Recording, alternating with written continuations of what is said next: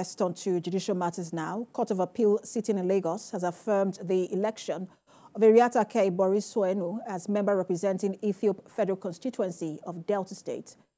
The daughter of a former governor of Delta State, Chief James Ibori, who constituted the House of Reps seat on the platform of PDP, defeated Mr. Ben Rowlands Igbapa of NNPP and Mr. Halim Haoda of APC.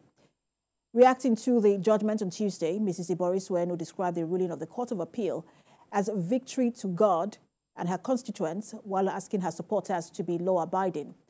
She also lauded the judgment of Justice Festus Ogbuinaya, Justice Senchi and Justice Waziri, saying democracy has come to stay.